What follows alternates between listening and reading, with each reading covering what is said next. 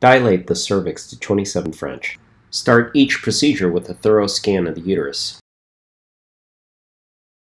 The ultrasound images in the same direction as the purple joystick.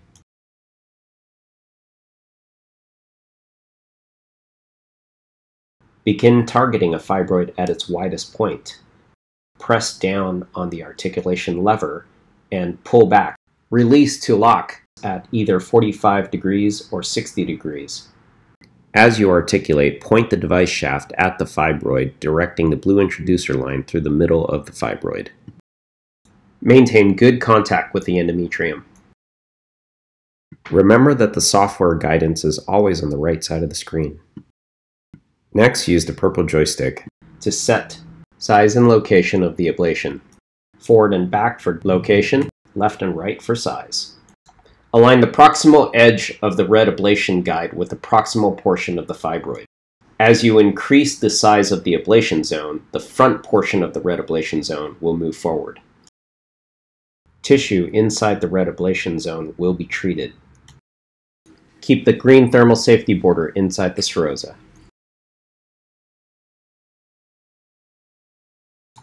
Press in on both gray introducer sliders to drive the introducer into the fibroid. Use the purple joystick control to align the yellow diamond over the visible introducer tip in the image and press confirm. Rotate far enough in both directions to confirm safety. Stabilize the nose of the device. Drive the needle electrodes into the tissue by pushing forward on the purple sliders. Perform the final safety rotation to ensure that the thermal safety border is fully inside the serosa. Maintain visualization of where the serosa is closest to the thermal safety border. Start RF delivery with the foot switch and the ablations will proceed and terminate based upon the size selected. When complete, retract needle electrodes and introducer.